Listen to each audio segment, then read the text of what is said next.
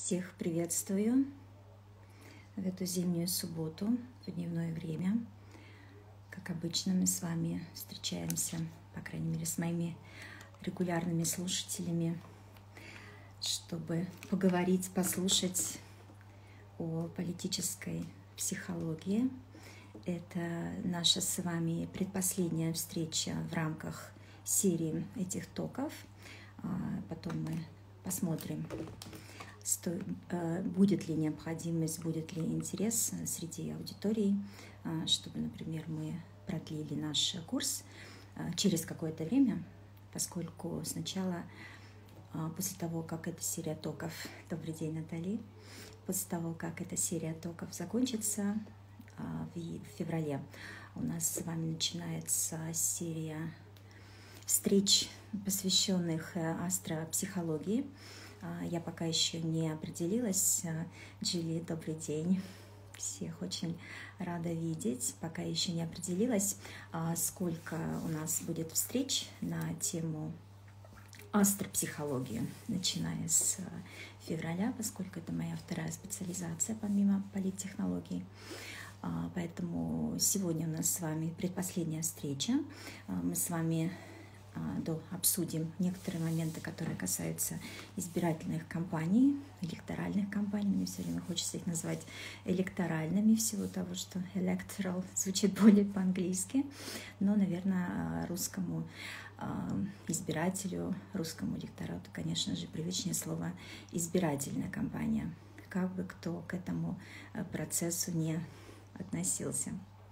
А последняя встреча следующую субботу у нас будет посвящена психологии масс, массовое сознание, концепция, которая напрямую связана, вы как психологи знаете, а, с, конечно же, с Фрейдом. Далее подхватил развитие этой тематики Юнг. Но сегодня у нас с вами вот а, какие-то еще моменты, которые я бы хотела с вами обсудить, рассказать, поделиться с вами в рамках ведения избирательных кампаний. А, интересные фидбэки были после той нашей встречи в ту субботу, а, поскольку а, некоторые, опять же, слушатели никаким образом пока еще или даже не собираются связывать свою жизнь с работой в политической сфере. И был вопрос, связанный с тем, что зачем нам да, вообще вся вот эта тема. Ага, Елена, здравствуйте.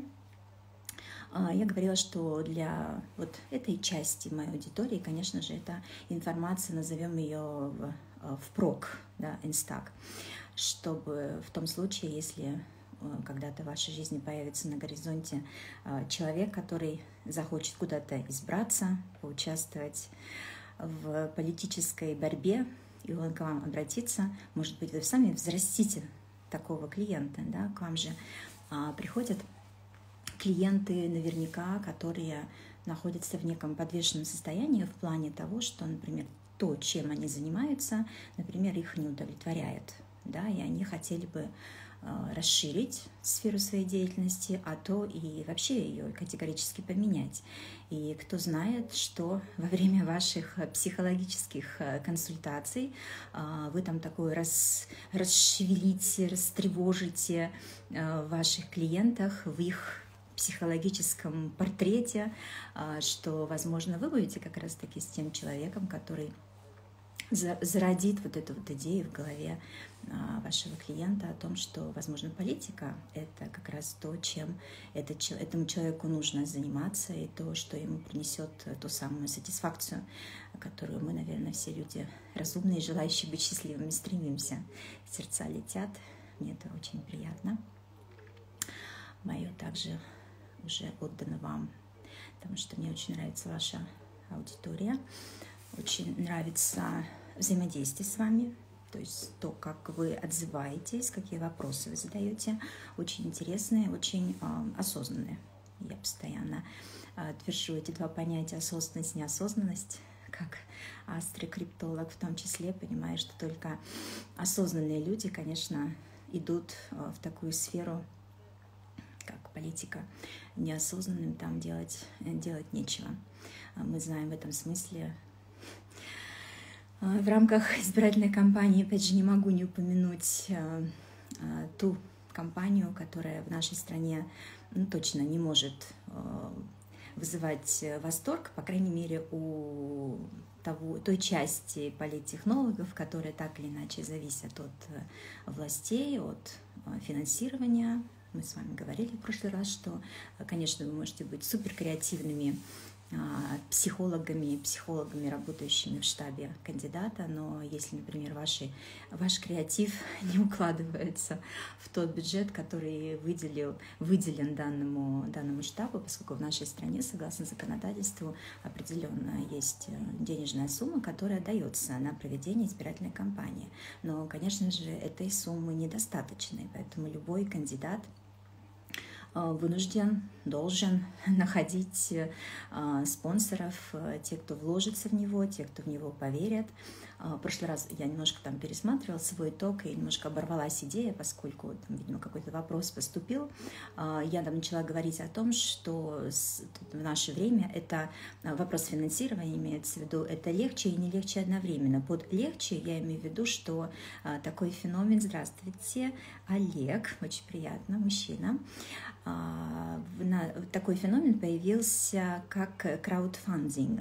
Знаете, наверняка слышали, а, когда идет сбор средств просто благодаря тому, что, так скажем, с какой-то медиаплощадки обращается человек, у которого есть некая идея, что-то развить, это, это в бизнесе работает, это работает в социальном маркетинге, это работает и в политике в том числе.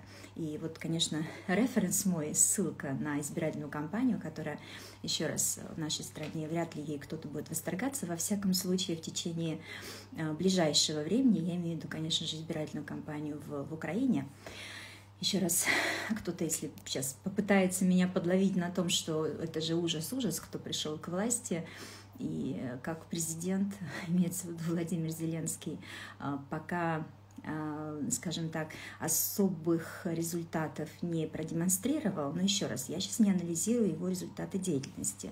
Это даже не мягко говоря, это совершенно другая тема.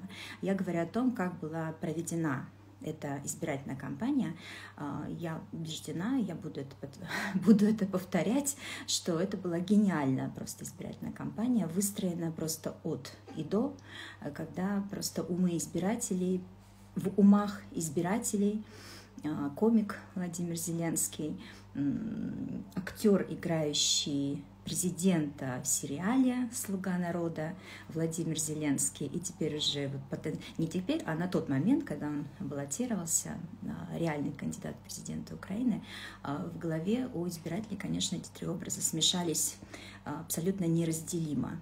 И результат еще раз, результат только в плане того, что этот человек победит. Потому что если мы говорим об избирательной кампании, что может быть мерилом успеха? А, в том числе, что может быть мерилом успеха тех самых консультантов. А, опять же, я немножко в сторону увожу политконсультантов, да, политтехнологов, как я, но я опять же акцентирую, что если вы, например, в таком штабе присутствуете а, в роли, в роли психолога, коуча, наверное, никаких специальных таких э, названий, вот этих jobs, э, которые, э, людей, которые работают в этом случае в, избирательном, в избирательном штабе, нет. Поэтому вы становитесь автоматически причастным к этому успеху, да, у вас растет репутация, вы в дальнейшем в том числе на вас будут смотреть как на человека, который по крайней мере, contribution, сейчас скажу по-русски, внес вклад, да, contributed, внес вклад в победу избирателя, и, как правило, таких людей замечают и э, приглашают на следующие избирательные кампании и так далее. Так вот, к вопросу о финансировании, как раз-таки краудфандинг э, был показан вот в этом сериале. По-моему, я задавала уже вопрос, смотрели ли вы вот этот сериал «Слуга, Слуга народу», «Слуга народа», да, падежи русские. А, вот там как раз изначально вот эта самая первая денежная сумма, которая помогла а, Голобородько зарегистрироваться и в дальнейшем, естественно, вкладывать деньги в, там, печатные, рекламные разного рода материалы в продвижение. Э, каким бы на коленке не было все это сделано, это было именно поднято, собрано, поднято по-русски, по-английски raise, а собрано именно благодаря вот кличу, который его штаб бросил в интернет, да, в YouTube, э, знаете, этот ругательный ролик, который был эм, опубликован когда он разнес в пух и прах вот нынешние власти. Вот сейчас он практически в такой же ситуации, только по другую сторону баррикад уже находится. Но так или иначе, краудфандинг — это вот привязка к финансированию избирательной кампании. А, это и расширяет ваши возможности, и э, в том числе эм, не настолько, насколько, наверное, хотелось бы, потому что все-таки э, электорат любит, когда появляются новые яркие лица, харизматичные, и на первоначальном этапе, как правило, доверие, уровень доверия к такому кандидату, он чрезвычайно высок.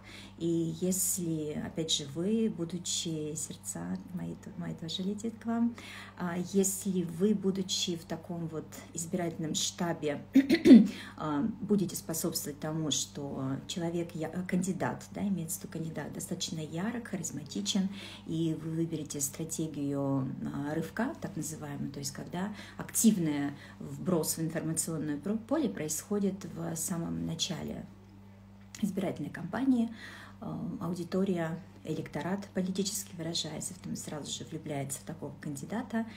И э, когда уже за две недели до непосредственно до выборов вы такую же массированную атаку на сознание избирателей проводите, результат, как правило, очень, очень хороший. Это, как правило, делают, такая стратегия, как правило, выбирается для кандидатов, которые не являются пока еще действующими политиками. А, пример, вот наш Мануэль Макрон, наш, потому что на втором или на третьем токе а, мы с вами говорили, что он уже во Франции среди журналистов, журналистской братьи такой получил никнейм а, Мануэль Наполеон, Макрон, Макрон Наполеон да, за его такие амбиции стать чуть ли не новым императором, не по, не по тайтулу, конечно же, да, но, по крайней мере, а, он довольно системно выстраивает а, вот это свое позиционирование, опять же, с помощью своих технологов, а, помощников, да, когда в умах французов он начинает ассоциироваться с тем самым политиком, который может вернуть Франции ее былую dignity, былое достоинство, да, былое величие на международной арене. И вот у него как раз вот его избирательная кампания, когда он стал президентом, как раз была стратегия рывка, когда он появился как черт из табакерки, совершенно неизвестно откуда, ну, неизвестно электорату, да, имеется в виду. Мы же, то, что мы обсуждаем сейчас, это то, э, как мы должны воздействовать на электорат ну, в конце концов, вы же не враги сами себе, уж если вы начали работать на какого-то политического деятеля, политика, кандидата, ну, значит, в любом случае должны ему желать победы. Ну, иначе зачем с этим, зачем с этим связываться, правильно? А, поэтому, вот, конечно, когда Макрон а, появился, такой молодой, а, с а, хорошей речью, и вот с этой очень трогательной историей касательно его личной жизни, это очень грамотный был ход. Но ход, естественно, он же не, не выходил замуж, боже, я все время путаю, жениться замуж, выходить по-русски, marry по-английски одинаково. Он женился, судя по всему, да, господи, не ошибиться бы. А, когда он женился вот на женщине, намного старше его, которая была его учительницей, вот эта вся вот романтик, французы все-таки люди э, романтичные, вот, и все это, конечно, прямо вот ударило в, как я всегда говорю, в мозг и сердце избирателя, и он в итоге был избран. То есть такая была прямо атака на сознание французских избирателей. Результат был именно таким, каким он должен быть а, в, в расчетах политтехнологов и, опять же, а, психологов, коучей, еще раз специального названия вот того психолога или коуча, который работает в штабе кандидата, такого нет, поэтому я просто вот называю психологом, но психолог, который работает в штабе. А, это вот то, что касается немножко по финансированию и выстраиванию образа. А, по поводу выстраивания образа, А мы сейчас, конечно, с вами, если вы логику помните нашей прошлой встречи, которая была как бы первой частью вот этого тока о электоральных кампаниях, я вам говорила, что, конечно, прежде всего, что делает политтехнолог и вместе потом подключается психолог, это, конечно, соцзамеры. Мы с вами про это говорили, но не подробно, поскольку это точно не лежит в плоскости в псих психологии. Это исключительно технологии замеров общественного мнения, социалка, то, что называется. А после того, как уже политтехнолог его команда понимают, какое отношение к тому или иному кандидату, какая расстановка сил в регионе. А после этого уже как раз вырабатывается стратегия, если помните, я об этом говорила, и одной из самых важных частей а, составляющих вот, стратегии, это, конечно же, сегментирование. Да? То есть либо кандидат выбирает атаковать, скажем так, какой-то какой определенный сегмент э, электората. А, пример мой был про новых людей, если кто-то, может быть, помнит, а, как у них было сформулировано, сформулировано а, их, э, а их аудитория, как их сегмент был сформулирован, очень точно. Кстати, вот новые люди в этом смысле пример партии, после того, как они победили и пошли в первый раз попали окей, были избраны впервые в Госдуму в сентябре прошлого года. А, вот со многими я разговаривала, людьми, которые, с одной стороны, интересуются политикой, но недостаточно, но не настолько, недостаточно неправильное слово, да, я не тот человек, который, вообще никто не может мерить, человек достаточно интересуется или недостаточно, да, это исключительно личное дело каждого. А, политическая социализация, от нее никуда не денешься, да, второй наш штук. Вот, но уже интерес к политике, это, как говорится, дело добровольное. А, те, кто в моем эксперименте участвует. Кстати, через парочку дней я пришли как раз уже а, вопросы первого этапа. Как раз вот там а, замеры делаются, то есть насколько у человека высока вот эта вот political self-efficacy, uh, опять же на английском, поскольку все, все, вся эта терминология а, она, конечно, англосаксонская, поэтому мы вынуждены либо брать вот английские термины, а потом их переводить, если они не сильно чудаковато звучат, что при переводе очень часто это странно. И потом, когда говоришь э, о политической самоэффективности, ну, конечно, вот вот эти два слова вместе для большинства людей они вообще ни о чем не говорят, да, что такое политическая самоэффективность. Но вот составляющая политической самоэффективности, то есть вера в то, что вы как гражданин этой страны можете влиять на изменения в ней, вы можете влиять на то, как власти, какие, э, какие действия предпринимают власти. А, из э, недавних на этой неделе произошедших событий, наверняка вы э, и отслеживаете вот данный момент, который сейчас я упомяну, но он касается точно всех, и он бы точно коснулся, если бы этот закон был принят. Я имею в виду, конечно же, закон о QR-кодах. И та волна отторжение вот этого закона, которая поднялась э, в соцсетях. Ну, соцсети это всего лишь отражение, да, мы понимаем, что э, при всем том, что в соцсетях сидят миллионы людей, э, это все равно не вся Россия, прекрасно мы понимаем, да, у многих россиян и смартфона нет, чтобы выйти в, в ту же инсту, в мета и так далее. Но так или иначе, вот власти, еще раз говорю, они отслеживают и сторис я опубликовала э, мой посыл такой, опять же, просто из серии «Хотите, прислушайтесь, хотите, не прислушайтесь». А посыл по поводу того, что вот в январе, точнее 1 января вступил в действие а, закон, не совсем да, закон этот вступил в действие в, в, лет, в лето, Э, английский in summer, летом э, прошлого года. Имеется в виду так называемый закон о приземлении. Лендинг называется. Имеется в виду, что иностранные компании, не все иностранные компании, а именно вот компании-гиганты, а еще более точнее, да, точно IT-giants, то есть IT-гиганты, к коим относятся, естественно, прежде всего Meta, бывшая Facebook, э, и Google – Google больше, более сговорчивым оказался в этом смысле. А, мета пока сопротивляется и никаким образом не идет навстречу тем требованиям наших властей насчет того, что они должны в России открыть юридическое, юридически свое представительство официально, поскольку у Меты такого представительства нет. один из подспуд, одной из подспудных причин, которые стоят за этим законом, это, конечно же, чтобы контент, который появляется в всех соцсетях, которые подконтрольны мета, там, где мы сейчас с вами общаемся, это, как вы знаете, это мета. Да, это называется Инстаграм, да, но Инстаграм уже давно выкуплен а, мета. Твиттер не так популярен в нашей, в нашей стране, поэтому менее, может быть, касается и интересен.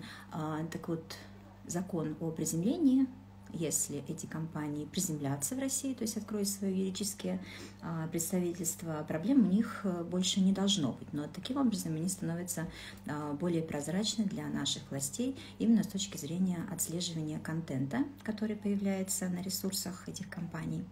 И потенциально, как я сказала, подспудная причина именно в том, что властям крайне важно отслеживать настроение электората для того, чтобы к особенно в преддверии важных избирательных кампаний, а, естественно, в нашей стране самой важной избирательной кампанией, естественно, является президентская.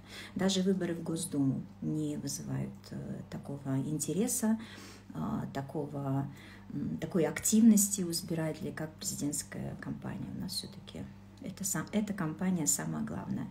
Так вот, в преддверии избирательных э, президентских кампаний, как вы знаете, в общем-то, она уже довольно скоро грядет в нашей стране, да, 24 год, а, властям нужно очень хорошо понимать э, настроение населения. И вот, возвращаясь теперь уже, да, вот закольцовывает мой а, спич по поводу лендинга, а, отношение к потенциальному закону QR, о QR-кода, конечно же, власти не могли не заметить, а, как, как негативно настроено население, ну и кому надо портить настроение и отношения с населением.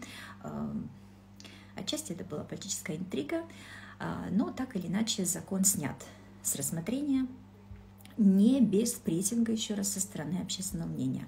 Поэтому, когда вот эта социология при выезде на место да, при какой-то избирательной кампании а, делается. Иногда, и пример с Хабаровским, я потом, Хабаровским краем в том числе я вам приводила, иногда она довольно очевидна, но тем не менее политтехнологам и, опять же, психологам а, нужно точно понимать, чем живет, чем дышит, чем болеет а, электорат – и поэтому, потому что уже именно на основании этого далее будет разрабатываться стратегия а, электоральной кампании.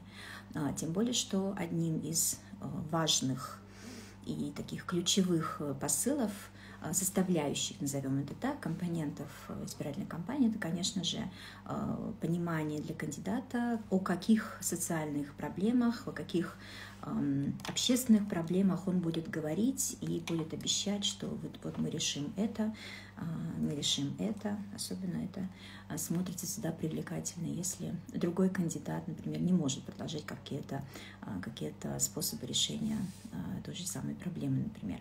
Вот, поэтому вот про новых людей, когда я говорила, что несмотря на то, что они очень четко определили свою аудиторию, свой электорат. И это, даже тот факт, что вот я вам подтверждаю, что я разговаривала после их победы уже со многими людьми, и очень многие думают, по крайней мере, на тот момент, когда я с ними разговаривала, думали, что лидером партии является вот как, как раз таки та самая, ну, сложное очень имя, Сагдана. Но лидером партии она не является, она была просто привлечена как яркое публичное лицо, поскольку в период э, ее Э, мэрства, она прославилась такими очень, ну, довольно популистскими шагами, но так или иначе, она, в общем, сыграла очень большую роль в победе э, этой партии на выборах в Госдуму. И несмотря на то, что, еще раз говорю, здесь вот вопрос о политической осведомленности, да, иногда э, избиратель может иметь весьма пространные, неточные данные о том или ином лидере, кандидате, а, и даже партии, но это не помешает ему, например, а, проголосовать за эту партию. Да, вот вы сами знаете, например, кто лидер партии а, «Новые люди». по большому, по большому счету даже а, партию-то не, не все даже знают, потому что она только-только, так сказать, такая baby party, э, только-только начинает еще свои шаги делать. Но так довольно а, уверенно набирает э, силы. И с точки зрения развития политической системы, ну, это, хорошо, когда появляется новая партия. А, лидер партии а, Нечаев, основатель компании Фаберлик. Вот. Многие этого не знают, но еще раз это не, не помешало этой компании а, получить пять мест они получили в Государственной Думе. Значит, когда разработана стратегия, возвращаясь к тому току и проводя параллели с тем, что мы сегодня вот с вами обсуждаем, естественно, уже непосредственно начинаются действия. Я здесь отсортировываю, конечно же, все те подвижения телодвижения, а, да, телодвижения, которые лежат на плечах э, технологов, и какую роль э, я вам акцентирую, конечно, только те моменты, которые непосредственно а, психолог э, выполняет вот в этом избирательном штабе. Тут, конечно, нужно быть очень хорошим тим, тимплеером. Я буквально недавно а, задавала вопросы. Я люблю задавать такие концептуальные, скажем так, вопросы, а, когда хочу понять вот, вот самую-самую-самую суть чего-то. И вот задавала вопрос Алексею Макаркину, действующий полит, политтехнолог, Центра э, Центра политических э, стратегических технологий.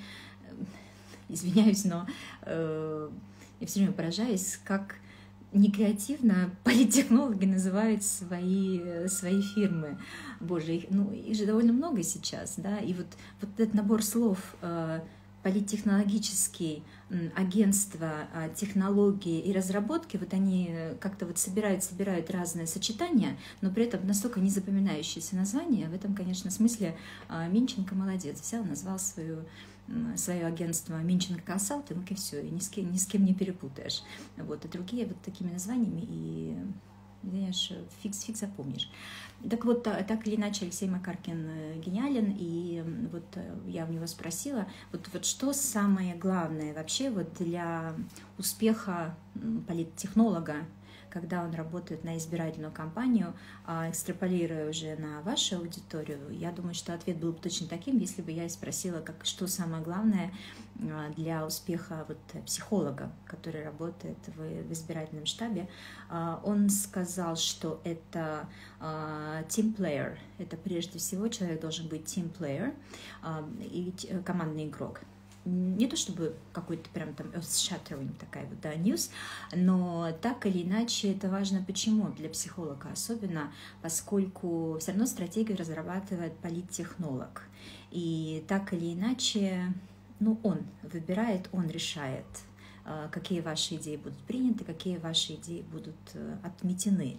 Вот, поэтому здесь, конечно, такая adaptability, она, конечно, от психологов требуется, э, и, возможно, недостаточно, если кто-то, например, из психологов, из коучей такой, привык работать в очень таком индивидуалистском таком режиме, то, возможно, это будет не очень комфортно. Вот в рамках избирательного штаба это накладывает определенные ограничения, конечно же, на вас. Хотя, конечно, а, зависит, может попасться руководитель штаба, который довольно либерален и будет прислушаться ко всему, что вы ему говорите. А, по поводу Сейчас продолжим о реализации стратегии. Представляю такие психологические моменты, именно хочу, хочу выделить такой момент, как, скажем так, благодарный это или неблагодарный труд, потому что, опять же, э, тот же Алексей Макаркин, э, это не его была цитата, это была цитата Пола Ньюмана, по-моему, да, это тоже такой гуру политтехнологии, который сказал, что если кандидат выигрывает, то он считает, что он выиграл за счет собственной харизмы, уникальности и исключительности. Если кандидат проигрывает, то это вина технологов, психологов, вообще всего его избирательного штаба. А в этом смысле вот такая не, неблагодарная роль. Но еще раз, если все-таки все получается и ну, вменяемый вам попался кандидат, подопечный, то все-таки вас, вас должны заметить и оценить ваш, э, вот еще раз, contribution, этот вот вклад да, вот в это вот общее, общее дело. Вот. И, э, конечно, одним из самых главных компонентов вот вот уже реализации стратегии, которую вы выработали после того, как вы понимаете социалку, и у вас она на руках находится, это, конечно же, э, реклама. То есть э, как рекламировать кандидата, каким образом его а, преподнести для аудитории так, чтобы а, аудитория его полюбила, как с Макроном, а, чтобы аудитория его м, вспомнила, если она его раньше любила, но, например, он как-то пропал из, а, из радаров, может быть, слышали на этой неделе, объявил о своем желании баллотироваться – Э, в очередной раз Сильвио Берлускони. Этому мужчине 85 лет. Он сделал все, что надо с своим лицом. Ботоксик, гайловрончик. Все великолепно выглядит. Бодрый, как всегда, очарователен, как неотъемлемая характеристика всех весов, весы по знаку зодиака, и он снова рвется в бой. Вот в его случае, конечно, это будет очевидно избирательная кампания, прежде всего о напоминании да, о нем как о а, таком вот политическом кандидате. Пока еще никаких стратегий проследить невозможно, что он только-только только-только объявил, но это вот очевидная стратегия рывка как раз-таки. То есть когда он сразу себе заявляет э, ярко, ну дальше вот посмотрим, Э, как он будет, либо он, это просто такой, ну, такой фофан. Все-таки это, этот человек уже много, многие вещи делает не ради а, политических целей, а такой вот ради какого-то вкуса жизни, что ли. Тем не менее, посмотрим. А, так или иначе, кандидат, какую бы стратегию ни выбирали и как бы его ни позиционировали в рекламе, а, конечно же, имидж должен быть прежде всего позитивен. Да, такая вещь, как а, хайп, шок и так далее, может, конечно, работать. В этом смысле опять вот я вам говорила в тот раз, что не, без, не без этого такой, такой шоумен, да. Ну, просто надо понимать, да, что это Италия, это, возвращаясь к нашей теме про социализацию и про политическую культуру, а, всегда надо сопоставлять. Да? Тот же самый Сильвио Берлускони на российской почве это, ну, это не о политике. Да? Российский избиратель все-таки ну, ну, это просто не тот типаж, который ожидает российский избиратель. А, сейчас мне просто сразу идей так пять в голове, хоп, и сейчас, чтобы мне их порядочку, по порядочку вам преподнести вот на, на эту тему, быть шоуменом или не шоуменом. Так или иначе, да, возвращаясь к примеру, например, а, к примеру, например, Трампа, да, он, конечно, шоумен, и он, ну, по моим наблюдениям, он, а, ну, в некотором смысле ограничивал, конечно, себя, когда он участвовал в той самой оказавшейся победной для него избирательной кампании, но у него тоже достаточно большая составляющая его имиджа именно как, э, как шоумена. Это проявляется, кстати, очень сильно в его языке, поскольку вот я говорила, что одна из, э, один из проектов, которым я занимаюсь в Высшей школе экономики, это изучение сейчас по-русски скажу, э, conspiracy theories, использование теорий заговоров в, в, политике, в политике Трампа. А, э, те, э, исследование теории, потому что по-английски, поэтому сейчас перевожу, э, исследование, использование теорий заговоров как часть популистской политики Трампа. Вот что мы изучаем. Что изучаем, это помню, вот как это сказать только на русском толковом. И, естественно, мы анализируем там огромное количество текстов, и он же продолжает давать интервью, выступать, и более того, тоже мы с вами об этом говорили, намерен участвовать в следующих президентских выборах в Штатах, учитывая такие рейтинги Байдена, да, шансы, в общем-то, его... Чем ниже рейтинги у Байдена, тем выше, выше шансы переизбраться у Трампа. Вот. Его речь вот в этом смысле, это прям речь шоумена, то есть а, он очень а, грамотно выстраивает речь. Ну, как опять, я смотря на астро астрологически, я просто понимаю, что он по-другому и не может говорить. Он близнец, это Меркурий, это активно, это такая речь, которая, она не, за, она не закрученная, она не сложная речь, она такая очень базовая, не банальная, но она такая очень базовая и понятна вот этому усредненному а, усредненному избирателю. А, у него очень простой вокабуляр, словарный запас имеется в виду, и нет никаких закрученных оборотов, но у него очень такая хорошая грамматика. Ну, здесь немножко уже в сферу своего английского я ухожу.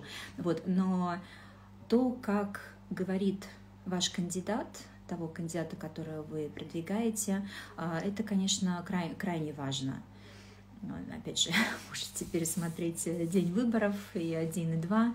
Можете пересмотреть а, тот, те же, того же самого слугу, слугу народа, где кандидаты, которые, например, не являются публичными фигурами, а на допустим, на муниципальных выборах, если вы участвуете в муниципальных выборах, то такие кандидаты — это ну, практически сто процентов, что вы с такими кандидатами встретитесь. То есть кандидаты, которые пока еще не были вообще, не, не участвовали в каких публичных мероприятиях, они не говорили на публику, и им действительно начать выступать, вот если среди вас есть а, те, кто, например, занимается обучению там, речи, э, ораторскому искусству и так далее. Но это точно ваши клиенты, потому что их, конечно же, нужно э, будет в пешном порядке э, научить, по крайней мере, формулировать свои мысли и доносить их э, удобоваримым способом для, для аудитории, потому что, ну, что там скрывать,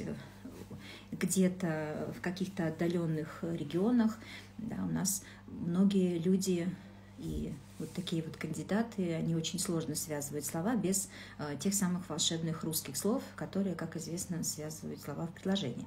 Вот. И, конечно, таких людей, э, если они вам попадаются, то это часть обязательно работы с ними, с их речью. В этом смысле, конечно, Трампа, Трампа не надо было в этом смысле обучать. Он и так достаточно говорлив и уже засветился во всех возможных э, шоу, и в том числе вот это знаменитое его «You're fired», да, вы, вы уволены на шоу, которое он вел, этот Apprentice называется по-английски, подмастерье. Вот, поэтому тут с речью проблем никаких не было, конечно, вот, но как именно как э, политик-популист, ну, популизм такая тема, лежащая в плоскости политологии, поэтому на ней не будем останавливаться, но вот Трампа очень часто называют э, именно популистом. Вот, поэтому это к вопросу о том, насколько шоуменство, скажем так, уместно или неуместно. неуместно. А, очень сильно зависит от того, какая это страна и в какой, а, какая, соответственно, политическая культура, какой бэкграунд у этого народа, Например, вот сейчас ко мне обратились из э, нашей бывшей, э, одной из наших бывших советских республик, не буду называть. И, естественно, первое, что нужно делать, это изучить вообще, если вы, например, опять же, попадая да, на работу с таким кандидатом, вы даже не очень в курсе региона, из которого он, например, а, баллотируется, то вам, конечно, нужно изучить в том числе весь культурный бэкграунд этого народа. Вам надо изучить исторический, исторический бэкграунд, ну, потому что это абсолютно нормально, нельзя знать все, и если вас забрасывают, условно говоря, в Ямало-Ненецкий округ, э, просят работать да, с кандидатами оттуда, э, а если вы всю жизнь работали только, например, с московской клиентурой, Э, или какой-нибудь там иностранной клиентурой, да, вам хвала, что у вас такая элитная аудитория, да, но, мягко говоря, ваш, ваши привычки, ваше видение вещей, да, в Ямало-Ненецком округе могут, мягко говоря, совсем не прийтись ко двору. И поэтому, конечно же, нужно вникнуть, да, что там за люди, какие они праздники празднуют, во что они одеваются, что они кушают. Это все очень важно для того, чтобы потом попасть в их, опять же, ума, ум, ума и сердца, умы и сердца для того, чтобы в том числе вот этот культурный пласт – это обязательная вещь, которая должна учитываться при выстраивании рекламы кандидатов, при позиционировании его, его имиджа. Вот поэтому тут такая роль, конечно, на вот, участниках избирательного штаба, она такая умение э, таким быть quick learner, да, быть как-то быстро, быстро обучаемым и схватывать, схватывать э, там всю, всю информацию очень быстро. Вот это касательно а, вот шоуменства, уместности или неуместности. А, и здесь, да, да, еще такой на здесь момент э, скажу, что Конечно, сейчас в нашей стране уже вот институт э, полит, э, политтехнологов, институт, не здание, да, имеется в виду институт, как вот именно такое образование, такая индустрия, да, которая работает в сфере, в сфере политтехнологий. Она уже довольно развита, конечно же, политтехнологов э, довольно много, там разного уровня, разного качества и там, с разным опять же, бэкграундом и экспертизой, но так или иначе, это, конечно, не сравнить с теми временами еще, когда наша страна встала на рельсы демократи... демократизации, конечно, в тот момент не было ни одного политтехнолога. Откуда политтехнологи, откуда психологи в том числе могли появиться в стране, а, которая, как известно, строила социализм и, и коммунизм. Поэтому, конечно, на первом этапе в нашу страну завозились иностранные политтехнологи. И вот э, в тот раз мы с вами уже упомянули меньше касались, да, касались уже вот того самого интервью Пугачева, да, где он говорил о том, что вот на, на электоральную кампанию Ельцина он привозил на своих собственных технологов. Вот это абсолютно точно правда, потому что местных еще не было совсем. И тут такой смешной был пример тоже, а, значит, один политтехнолог рассказывал, когда на избирательную кампанию как раз-таки Ельцина, вы, так сказать, решили выписать... Нет, кстати, не решили выписать, он сам отозвался, да. Тогда же Россию воспринимали как страну, которую, естественно, ну, отчасти правильно, а, которая ничего не понимает да, в том, как надо делать политику, как надо вести избирательные кампании. Еще раз, это ну, довольно правильный вывод, откуда это знать, если у нас была такая закрытая, закрытая страна. И один французский как раз политтехнолог отозвался, и вот он обратился к Ельцину, к его тогдашнему, ну, такому, назовем это, группе людей, которые я себя считала избирательным штабом.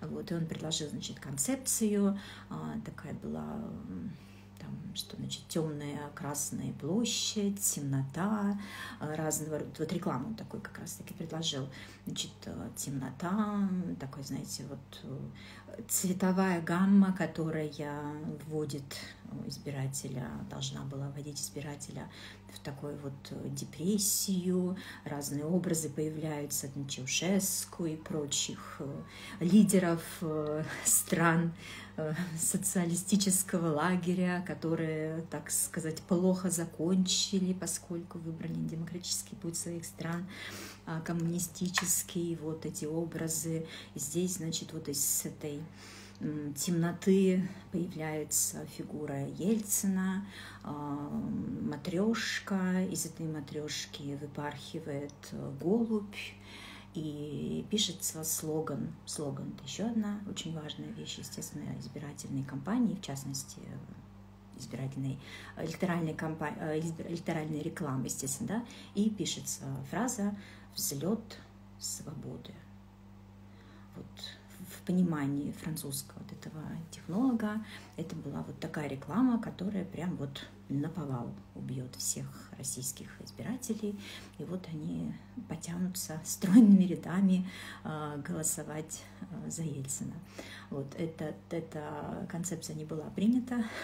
Более того, эм, насколько я знаю, э, Ельцин, по-моему, даже сам или кто-то из представителей, я не помню, тут, конечно, юморист еще тот, они позвонили этому политтехнологу э, и спросили его, сколько вы нам готовы заплатить, чтобы эту рекламу мы выдали в эфир он немножко обалдел, так сказать, с русской наглости, а, переспросил, извиняюсь, как-то вы мне, как-то я вам заплатила, обычно мне платят, я же политтехнолог, да?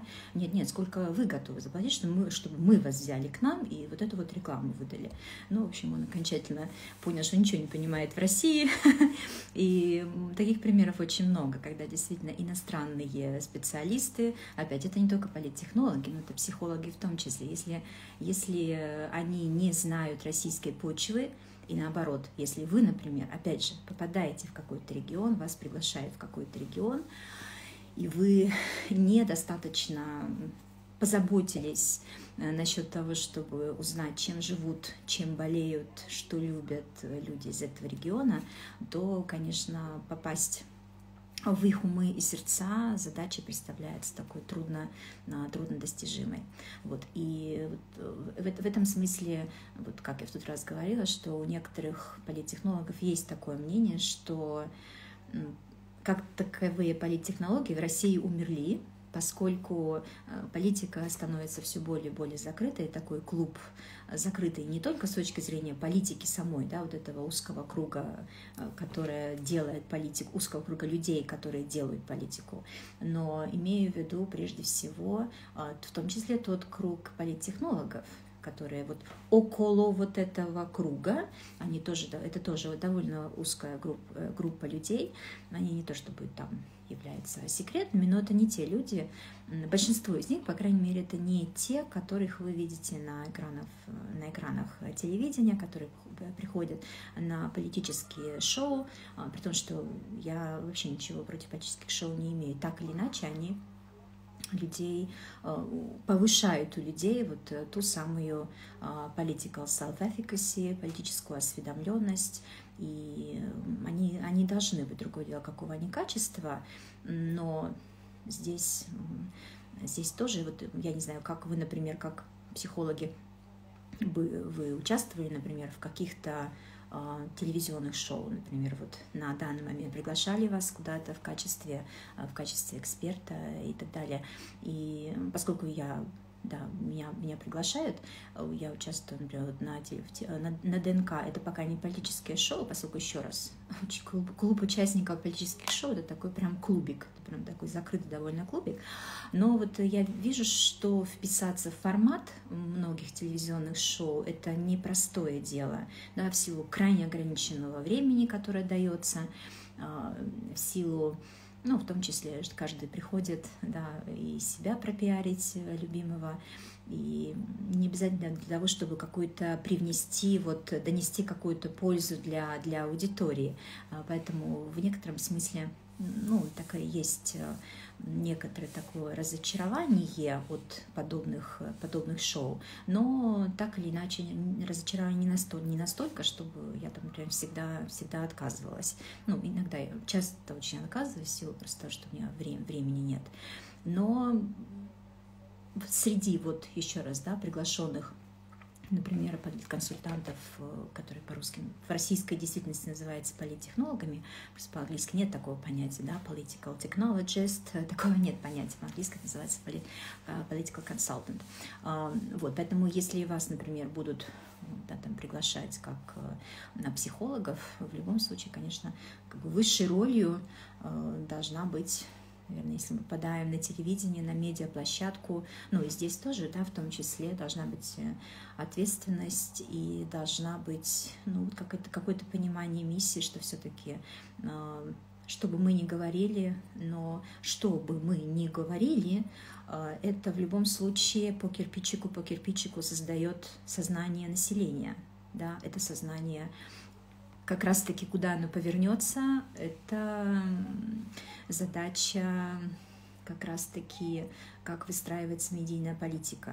А это с этим всем в итоге должны иметь дело, э, уж расхлебывать или наоборот э, быть благодарным как раз-таки в эти самые штабы избирателей, э, штабы как раз-таки кандидата потому что все, что происходит в стране, конечно, так или иначе э, очень сильно влияет на настроение избирателей. И даже если вы, например, очень хорошо отработали, и у вас изумительная стратегия и прочее, вы можете, да, ваши усилия могут нивелироваться только из-за того, что, например, какое-то произошло накануне событие перед выборами или в регионе что-то произошло.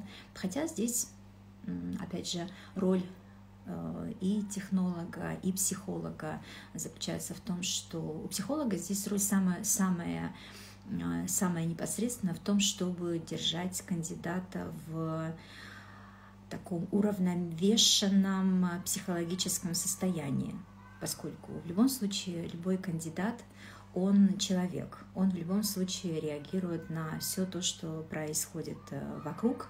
Вы не в силах изменить новостной фон, вы не в силах изменить э, те политические интриги, которые происходят э, ежедневно. И мы сейчас внутри такой интриги все находимся абсолютно. Но ваша задача как психолог, вот здесь именно как психологов, не допускать того, чтобы вашего клиента, вашего кандидата а, моталась стороны в сторону, чтобы он какие-то принимал собственные решения. Здесь один из главных секретов успеха, об этом говорят все технологи, а, в том, что кандидат должен слушать, слушаться. Это прямо слово obey, это прямо вот подчиняться, слушаться, а, следовать той стратегии, которую выработал технолог. Потому что, пример, пример такой вам приведу. А, многие вещи, например, кандидату даже не надо знать, поскольку если, например, его э, осведомлять обо всем, о всех тех маневрах, Э, которые вы собираетесь, например, предпринимать, то вы, ему может просто это, ну, чисто на человеческом уровне, еще на каком-то уровне, просто-напросто не понравится. Он может эту идею отвергнуть, отвергнуть, а она, например, является таким вот кирпичиком вашей общей стратегии. Ну, вот, например, я вам такой приведу, даже без названия, естественно, имен регионов. Вот в одном регионе проходили выборы, вот э, на этапе рекламной кампании, значит, э, ну, представьте, там одно, небольшой, небольшой такой город, где все друг друга знают, где известно биография кандидатов известна не потому, что вам ее вбросили и вы ее прочитали, а просто потому, что, по большому счету, все семьи, они вот там дети растут на ваших глазах, что происходит, кто с кем там разводится и женится, тоже все все знают, у кого какие проблемы, все знают. И вот представьте, что в таком городе, вот это реальный пример, а, там люди просыпаются, и вот э, там, выйдя на улицы, они видят, что везде на заборах, на, на любых каких-то пустых площадях, на, э, площ, э, вот, не площадях, а поверхностях, поверхностях, на которых хоть что-то можно написать, везде вот расписаны одна, расписана одна и та же фраза «Отправляйся за своим сыном в ад». «Отправляйся за своим сыном в ад». Какая спонтанная реакция у людей, которые, которые это видят? Значит, логика у избирателей, естественно, начинает работать как? Угу. А поскольку, еще раз, люди все в этом регионе знают друг друга, а, они прекрасно знают, что вот у одного из кандидатов погиб сын на войне, погиб, в Чечне погиб. И, естественно, когда вот, такой, вот такая бабушка, такой молодой человек выходит на улицу и видит эту фразу, он сразу состыковывает эту фразу со своими знаниями и делает вывод, ага, надо же какой сволочной вот этот другой кандидат, надо же на святое, потому что все-таки для подавляющего большинства людей – упоминать смерть близких, это за пределами, да, это за гранью добра и зла, а так делать нельзя. Это было сделано в рамках стратегии рывка, то есть когда вот именно такая вот массированная атака идет в самом начале избирательной кампании и в конце избирательной кампании.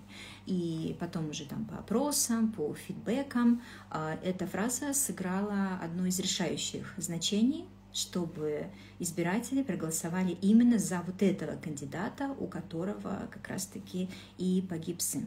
И этот кандидат даже не знал, что эту фразу написали его избирательный штаб.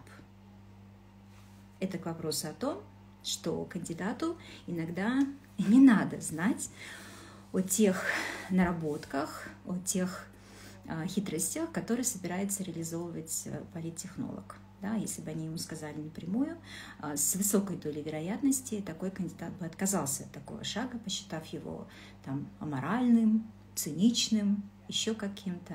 Но так или иначе, а, у избирательной кампании, а, если вы в нее идете, если вы являетесь членом этого избирательного штаба, у вас может быть только одна цель. Это цель победы вашего кандидата. Поэтому в данном случае вот победа была, победа была. Он потом это узнал, да, был дико зол, гневился и так далее, но он же победил. Он же победил.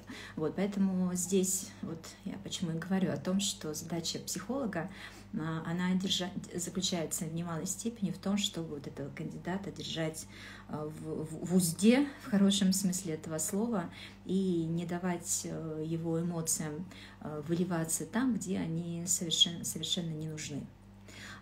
Поэтому вот это тоже один из самых таких важных моментов, которые тоже все политтехнологи э, настаивают, это максимально изолировать, изолировать в лучшем смысле этого слова, изолировать ближайшее окружение от кандидата, потому что мы прекрасно понимаем, что э, да, этот кандидат весь день, конечно, да, он с вами, он у вас на глазах, вы с ним ездите на заднем сиденье автомобиля, да, вы ему рассказываете, как надо сделать здесь, как надо сделать здесь, как надо сказать здесь, он вам акает, он хакает, говорит, да-да-да, все так и будет, и даже заряжен и так далее.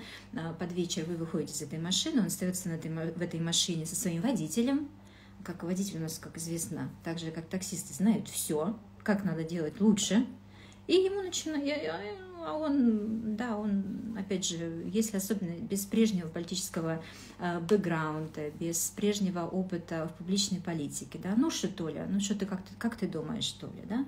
И Толя ему, да, всю правду матку на свой манер, какой сволочной. Вот я слышала, что сейчас там говорили с этим технологом, вот он... Э, Опять здесь мы, конечно же, э, тут вам астрология. Это первое вообще дело, что я, я всегда делаю. Это человека делать ментальную карту. Смотреть его устойчивость, насколько он подвержен вот этому воздействию внешнему. Потому что если перед нами человек, который... А, это, это ведь не значит, что он плохой а, управленец, что он не имеет потенциала стать э, политиком. Конечно, нет.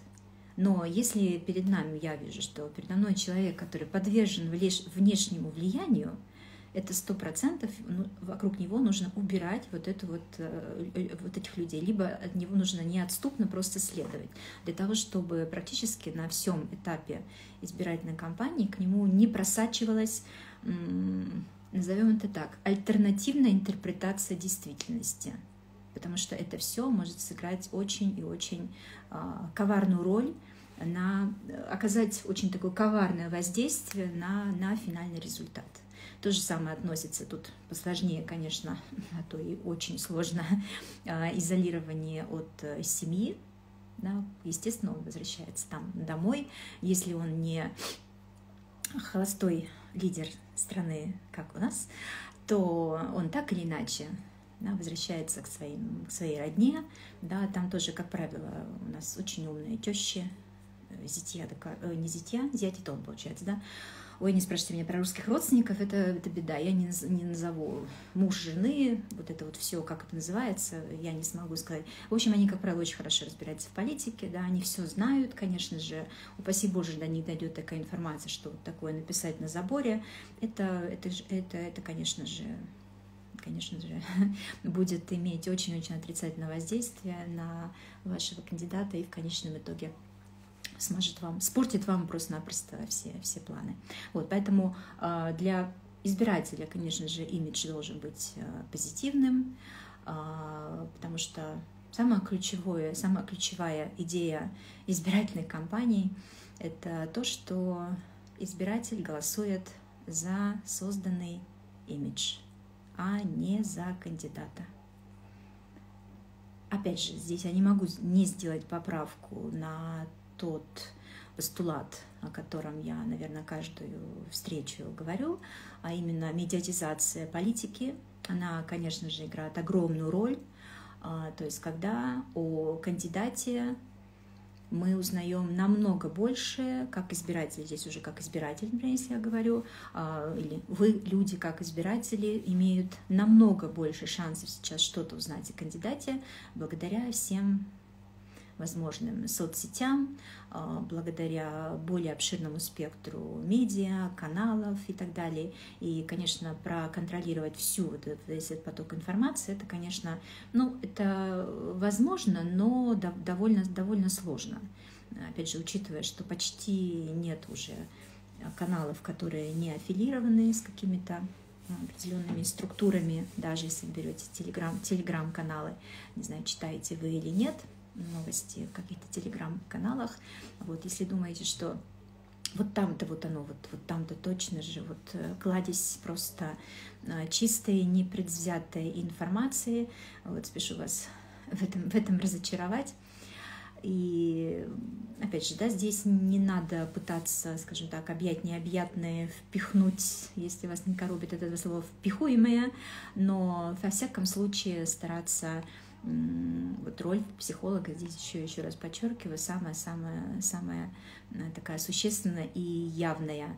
Не давать вот особенно такому кандидату который склонен колебаться и который сильно зависим от внешних э, внешних воздействий а, чтобы он не впадал вот в такую вот не выпадал из той реальности, которую а, штаб создает э, для него на период участия в избирательной кампании. В его же благо, я понимаю, это все звучит довольно цинично, манипулятивно и подберите сами еще какие-то отвратительные слова, но еще раз, если вашей целью является, а я с трудом представлю, зачем идти в избирательный штаб, если этой цели у вас нет, а, так вот, если целью является а, победа вашего кандидата, значит, вы должны эту реальность создавать, по крайней мере, на момент на момент, э, на период э, прохождения этой избирательной кампании. Ну и, наверное, последнее, что я скажу, поскольку, естественно, после того, как вы уже да, запустили рекламу, начинается какой-то фидбэк от избирателей, э, вы начинаете отслеживать вот эту вот медийную волну, что кто чувствует. Я думаю, что да, Алена, я не буду зачитывать, ладно, вопросы тех, кто участвует. Посмотрите сами, пожалуйста, ладно, чтобы потом для записи это не оставалось. А, опять же, когда я говорю, что я знаю его натальную карту, это всегда вызывает вопрос, откуда у вас точные данные. Я не буду, извиняюсь, выражаясь этими же словами, да, есть землю из горшка, чтобы доказать, что это данные точно те, которые этому человеку соответствуют. Да? Во всяком случае, то, что есть, как говорится, на безрыбье и рак рыба. Из такой констелляции информации и с той карты, а, которую, которую я вижу, я бы сказала, что 50 на 50, где-то так примерно. Угу. Если хотите еще что-то уточнить, то то, скажите, то скажите, пожалуйста. Ладно? Снова кто-то отправляет реквест, вот я вижу, в тот раз также точно было, но я не отвечаю за это, поэтому sorry, я не могу вас добавить, это, видимо, должна делать сама, сама Академия. Ага, ушел человек. Будем, будем надеяться, что не обиделся. Угу. Алена, uh, you're satisfied. Вы, вы, вы довольны ответом, хорошо. А, так, что еще хотела сказать, что хотела сказать. Да, то есть, когда вы, значит, уже все, да, пошла реклама, вы фидбэки получаете, здесь соцсети, наоборот, вам, вам в пользу, потому что, да, как известно, люди э, не очень любят оставлять положительные отзывы но когда надо кого-то обругать, о, это прям вот красноречию нет предела, да, вот, поэтому в этом смысле соцсети прям хорошо, Поэтому обязательно, конечно же, для а, кандидата заводится профиль. Опять же, мы говорим сейчас о кандидате таком нулевом назовем, да, у которого не было никакой публичной жизни до этого. А, если, конечно же, он уже давно в политике, а может быть, изначально не думал о себе как о политике, но ведет соцсети. Но, правда, если они начинались как приватные, ну, из которого private profile, то, возможно, на определенном этапе, зависит от того, что там постил этот человек, а, какие да, публикации делал, возможно, придется и новый профиль завести, но так или иначе закрывать от э, комментирования, конечно, страницу кандидата, это последнее дело. Конечно, этого делать ни в коем случае не надо. А, пусть лучше все выльется, весь, весь негатив, все, что там люди думают, а, непосредственно под постом да, и под всеми публикациями, нежели потом это выльется а, в нежелании голосовать за, за этого кандидата. Еще еще раз по, по, а, говорю о том, что уж э, если вы начали с этим человеком работать, ну, либо вы, сказать, совершенно неразборчивы, и вы работаете с кем попало, ну, это ваш выбор, да, если вы выходите работать с этим кандидатом, и вы в процессе что-то узнаете, хотя, опять же, я ну, это, возможно, мой фильтр, да, моей собственной натальной карты, я, естественно, узнаю заранее. То есть если есть какие-то глобальные, глобальное несогласие с чем-то, с этим человеком, это все очень легко выяснить, почитать, посмотреть, подписаться на канал, на телеграм-каналы местных, э, местных экспертов, э, медиа. Это займет какое-то время, конечно же, но получить картину того, что это за человек, там, какие у него принципы, чем он дышит, что любит, что не любит, э, в чем был замечен, если вас что-то вызывает сильное отторжение в таком человеке, ну, не надо с ним начинать работать, потому что, в конце концов, это предательство, начинать работать с кандидатом, который вам совершенно не, который вам, а, ну, назовем это, не резонирует, да, но вы все равно ради уж чего там денег, славы или чего-то еще начинаете с ним работать, потому что так или иначе а, перевесит вот этот негатив, и вы, и вы начнете просто-напросто работать во вред во вред этому человеку. Вот, поэтому, если что-то там не так, ну, не надо тогда связываться. В конце концов, здесь я понимаю, тут можно опять долгую дискуссию вести вокруг этических и моральных, моральных норм, но так или иначе на защиту судей имеет право кто угодно, на быть излеченным или, по крайней мере, получить медицинскую помощь имеет э, право кто угодно, имеется в виду хоть ангел, хоть демон. И в этом смысле, если человек уже решил пойти в политику и куда-то избираться, у него тоже может быть разный, разный бэкграунд. Это только ваше решение, будете вы с таким человеком работать или, или нет. Хотя, мне кажется, дан, данный посыл, он не только о... Не кажется, я уверена, но так-то решила демократично выразиться. Э, глобальный, наверное, посыл, да, если вам человек по каким-то э, характеристикам прям сильно вызывает отторжение, не знаю, работаете вы с такими людьми, как психологи, как э, коучи, или вы входите в, таки, в такое партнерство, надеясь как-то устранить эту черту у человека. Тут разные могут быть подходы. Вот. Но точно в рамках работы в избирательном штабе в роли э, психолога, э, конечно, ваша задача не будет да, воспитать кого какого-то нового из этого человека. Задача состоит именно в том, чтобы предъявить электорату тот имидж, который этому электорату э, зайдет.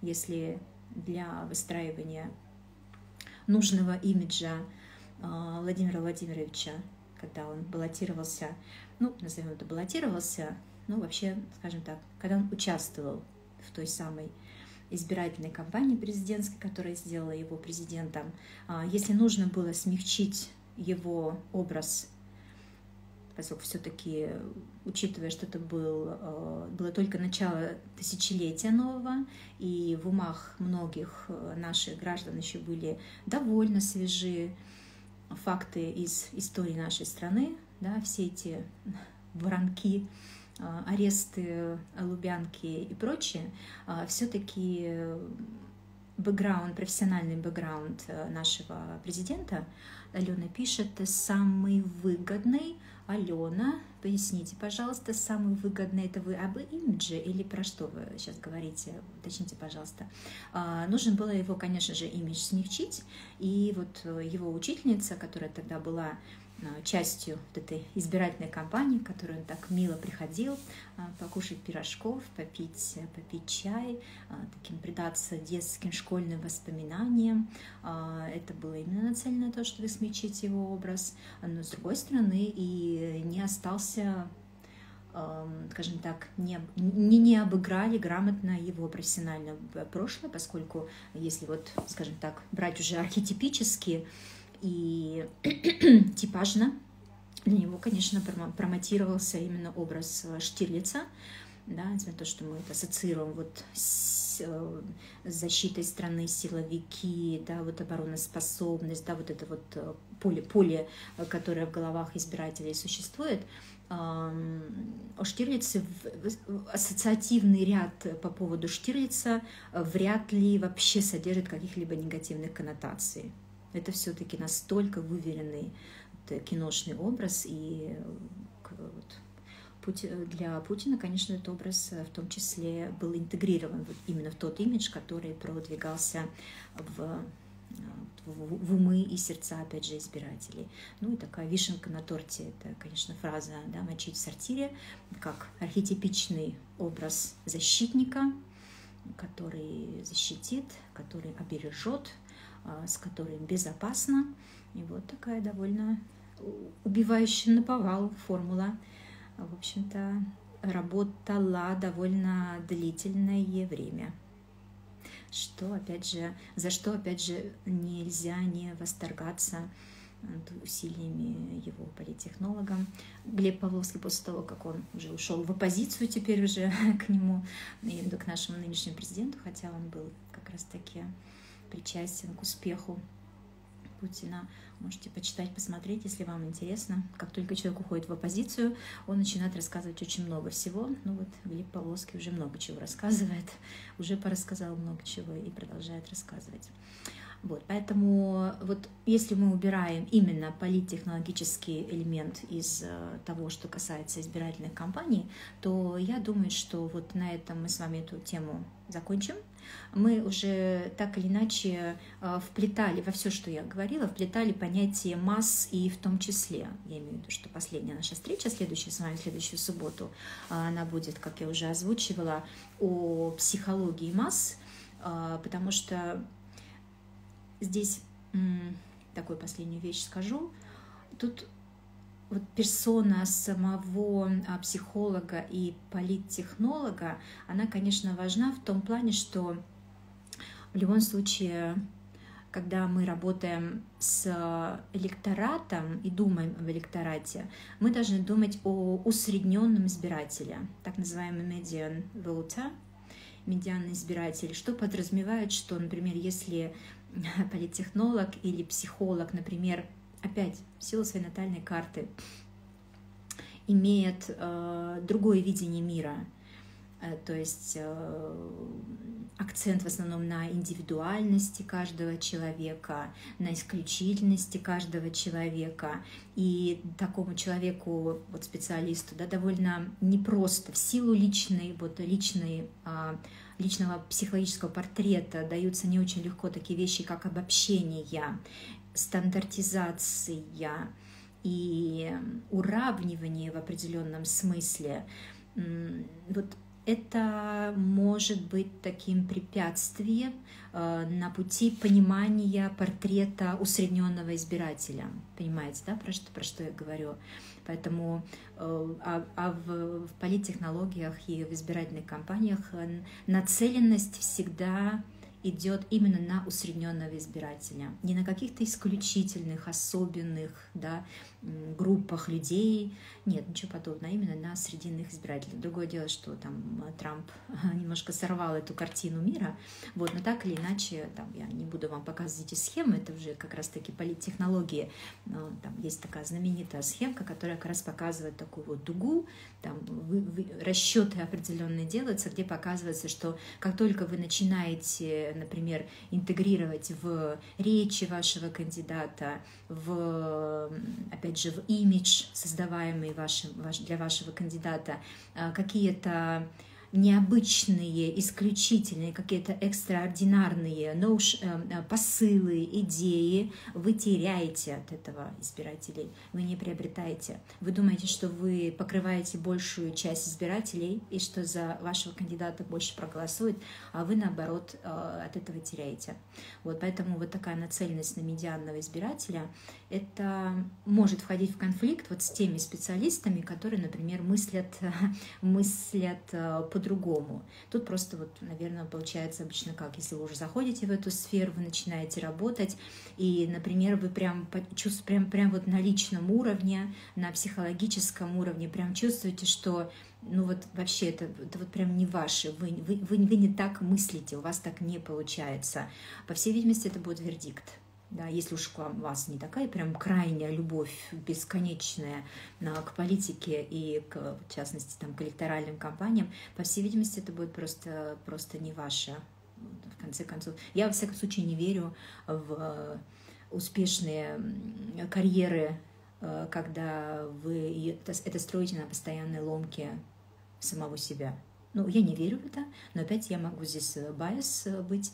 Вот люди, некоторые делают такие карьеры, сказать, берут вдох, говорят себе, ну ничего, лет 10 потерплю, а там домик в Испании уже будет, и там съеду.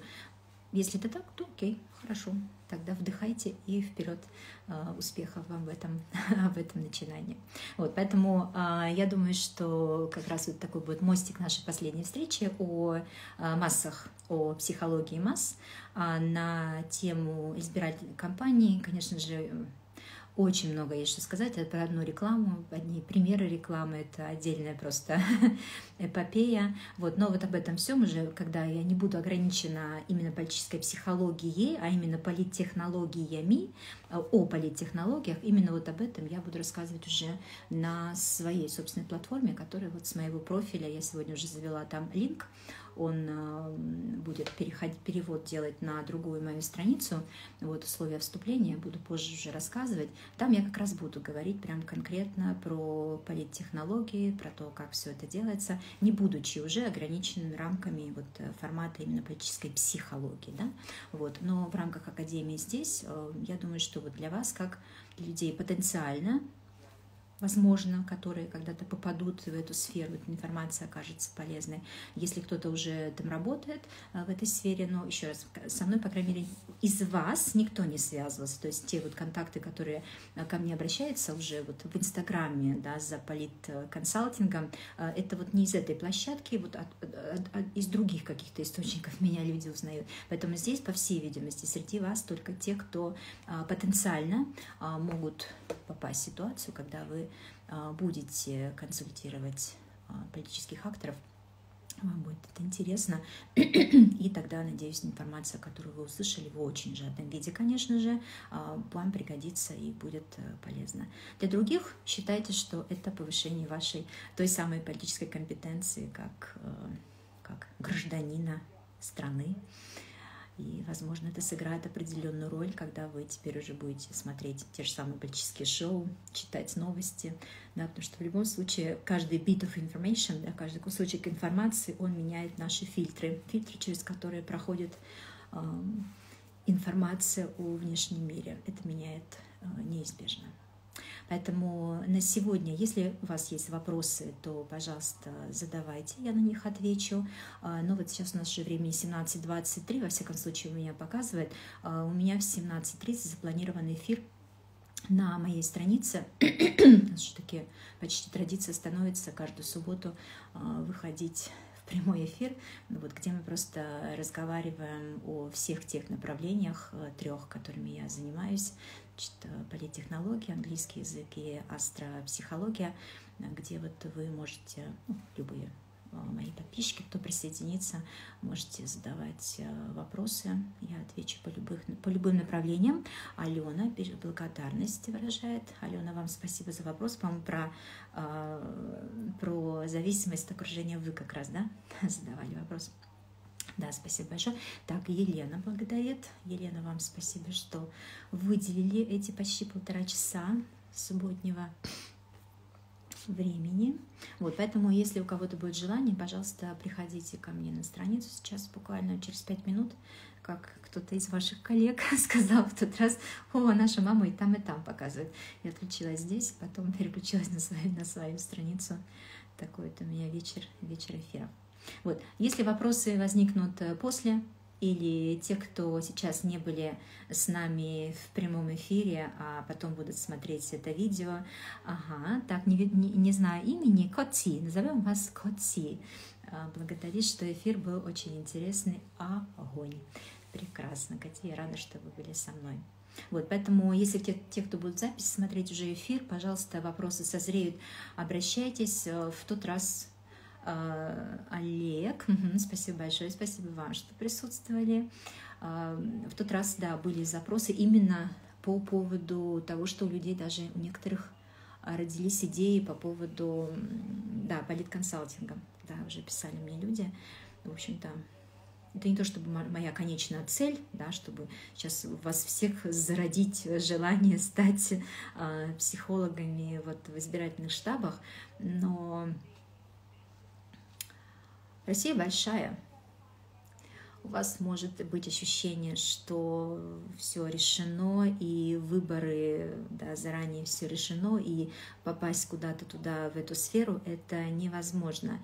Нет, это очень даже возможно, именно потому что выборов в нашей стране тоже много, они разного уровня региональные выборы – это вообще выборы, которых э, кандидаты могут быть довольно неподготовлены, в том смысле, что им нужна, нужен этот саппорт э, профессиональный и помощь. Поэтому нет, это не какие-то заоблачные, совершенно недостижимые горизонты, ничего подобного. Поэтому если у вас такое желание зарождается, то развивайте. Ну, потом вот можете, опять же, а, приходить на мой профиль, где, конечно, я уже говорю больше именно о политтехнологиях, не будучи ограниченной темой а, только психологии. Я тогда с вами со всеми прощаюсь. Эфир я, конечно же, сейчас сохраню. Будут вопросы после. Обращайтесь. Связь была хорошая, чему я очень рада. В тот раз нас немножко она подвела. Всем всего хорошего, хорошего вечера. Всем пока, всем до свидания. До следующей субботы, до того же самого времени. Мои сердца тоже к вам. Пока.